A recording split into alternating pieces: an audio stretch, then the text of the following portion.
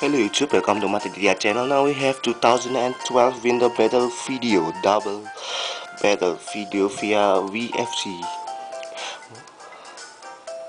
Uh, here we go. We are having a battle against Althea with his Machamp and his else. You are challenged by Althea. Althea sent out Machamp and Jolteon. Meanwhile, I use my Garchomp and Cresselia. First one, he used hidden power ice type from Jolteon attack my Garchomp.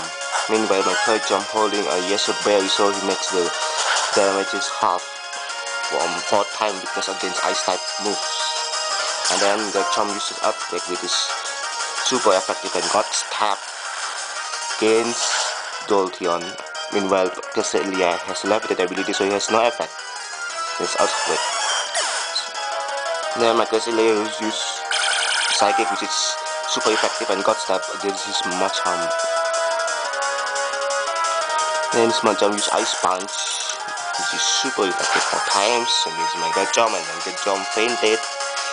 I sent out my Latios meanwhile he sent out his her Espeon. Then my Latios is Draco Meteor then his Espeon with 119 90% damages because of stat then my Cresselia is psychic on his Machamp and his Machamp fainted the last is Althea sent out Dragonite Dragon Path, Dragon and Flying type Pokemon. I use my Draco which is super effective in God Star by Latios and her Dragonite fainted